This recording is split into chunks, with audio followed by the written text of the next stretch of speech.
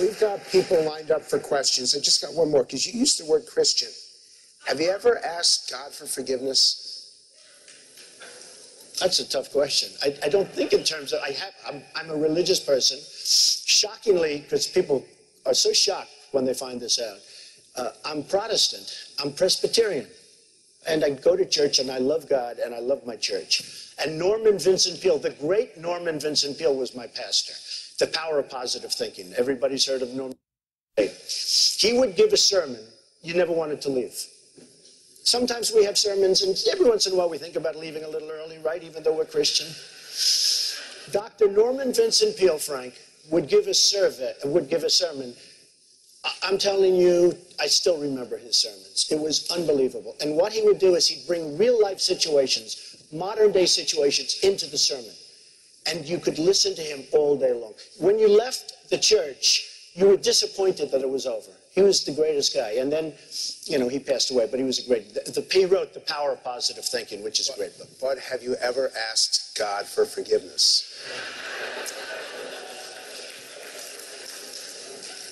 I'm not sure I have. I just go and try and do a better job from there. I don't think so. I think I, if I if I do something wrong, I think I just try and make it right. I don't bring God into that picture. I don't. Now, when I take, you know, when we go and church and, and when I drink my little wine, which is about the only wine I drink, and have my little cracker, I guess that's a form of asking for forgiveness. And I do that as often as possible because I feel cleansed, okay? But, uh, you know, to me, that's important. I do that. But in terms of officially, I, should, I see, I could say absolutely, and everybody, I don't think in terms of that. I, I think in terms of let's go on and let's make it right. So let's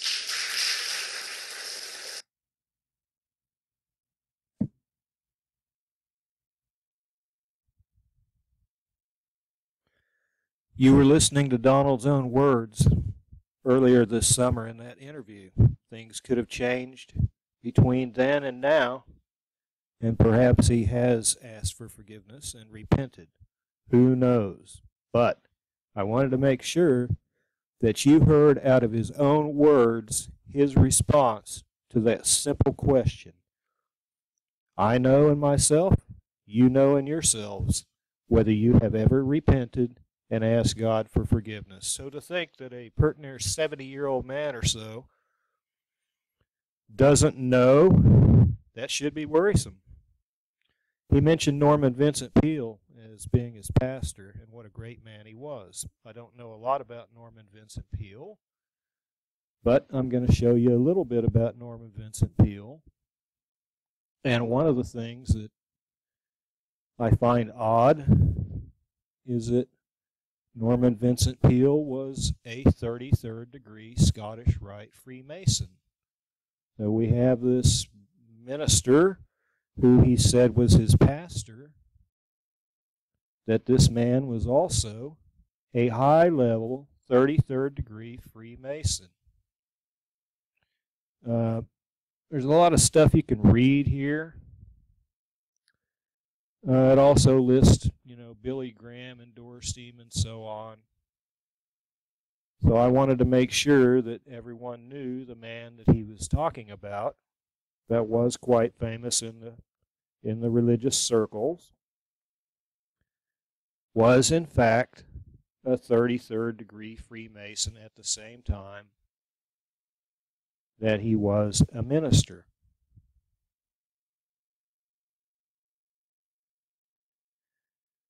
This is another interesting article.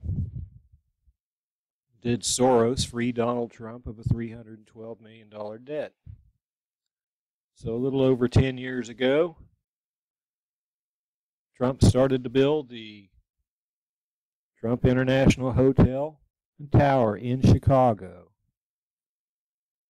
Says he received a loan from Deutsche Bank for 650 million bucks also, a $160 million mezzanine loan from a group of private investors, which included George Soros. Now, if you want to say he's a globalist and he's trying to bring the country down and whatnot, you would have to say, why is he making a business deal that includes George Soros? There were other entities listed also Fortress Investment Group and Blackacre Capital. The loan was estimated to be as high as 360 million bucks with the interest. It says after seven years he was on his way to paying off the main loan to Deutsche Bank. Reasons that were unexplained to the public. The majority of the mezzanine loan was forgiven by the loan's original lenders, of which George Soros would be one.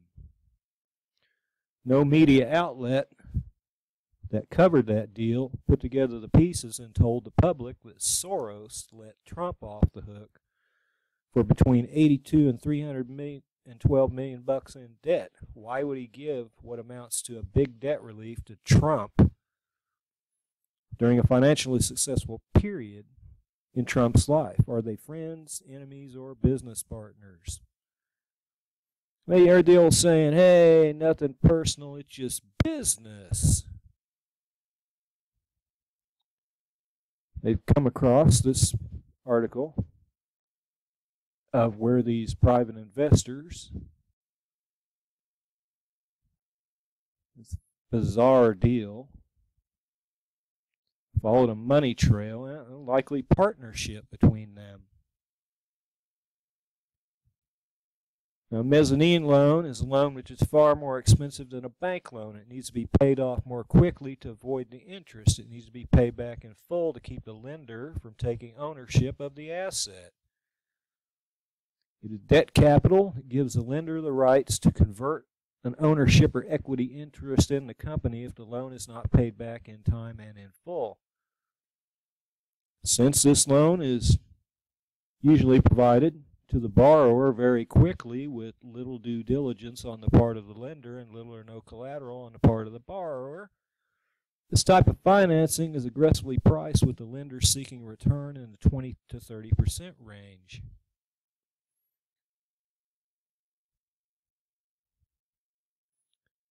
And we scroll down and we find the loan document says Mr. Trump could have to pay Fortress as much as 360 million depending on how long the loan accrues interest. Combined with the Deutsche Bank senior loan, he would owe more than 1 billion total.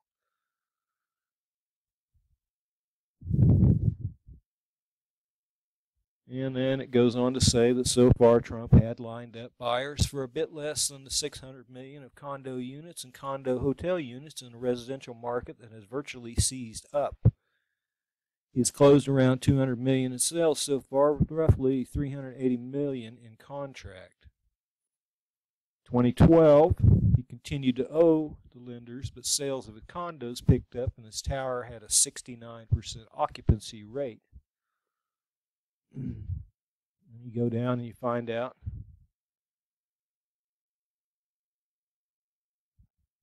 After a number of years have passed, several things are likely to have happened. The mortgage has been significantly paid down, the value of the underlying building has increased, and the owner has waited for a time in the economic cycle where mortgage rates are low. At that point, they will refinance the original mortgage and put the balance to work somewhere else where it can make even more money. Trump did not have to worry about paying back the majority of this mezzanine loan.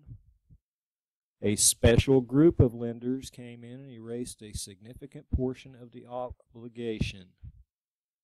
That group was the original lenders, Soros, Fortress, and Blackacre, all of whom decided to forgive Trump's future interest payments on the loan, selling it to him at the massively reduced price of 48 million. To put it in starker terms, Soros and others effectively gave Trump possibly hundreds of millions of dollars in debt forgiveness while cutting down the principal by 82 million. They could have given him 312 million dollar forgiveness.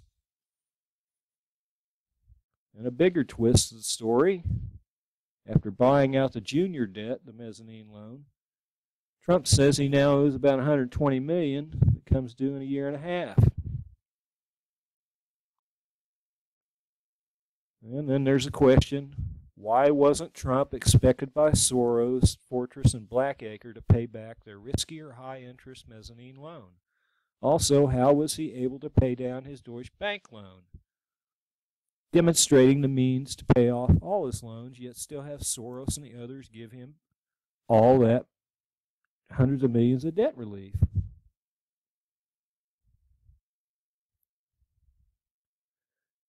This deal was made in a cloaked manner. It may have been the most generous amount of debt forgiveness ever given on a mezzanine loan.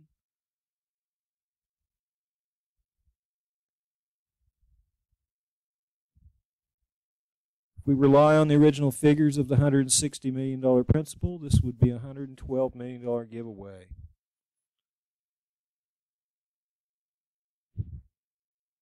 So, according to this article, Soros and Trump have done business together.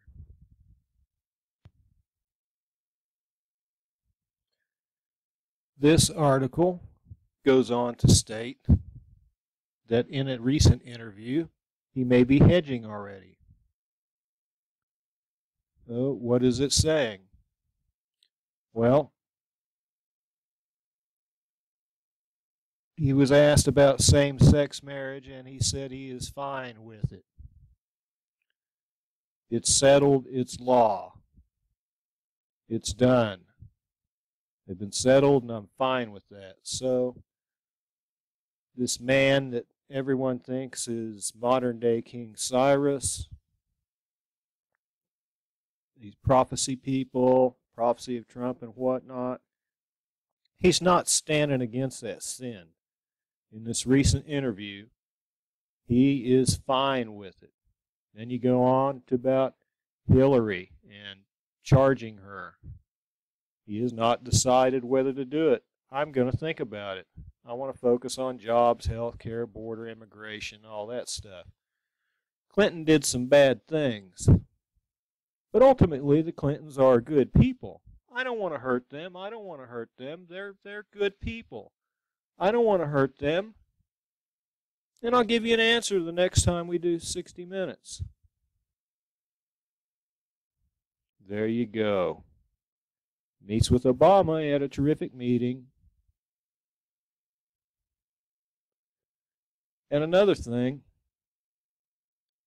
to be likening this to biblical prophecy of the, the last trump or the trumpets. Trump Pence does not sound even remotely like trumpets. Trumpets does not sound like trumpets. Pence is something that you know it's a it's a piece of money if you go look it up in the dictionary you know his name is is like the money pence has nothing to do with the trumpet so that is stretching things really far to be saying trumpets sounds like trumpets. So he is fine with same-sex marriage. And that is against god. That is against God's holy union set in the Garden of Eden with Adam and Eve of a man and a wife.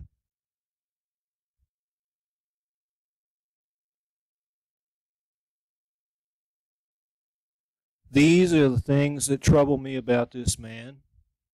I don't trust this man.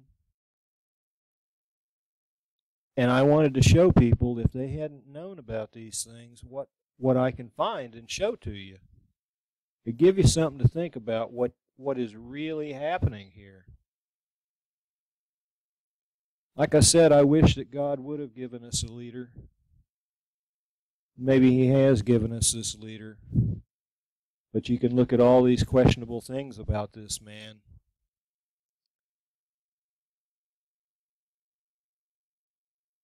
And it is pause to think.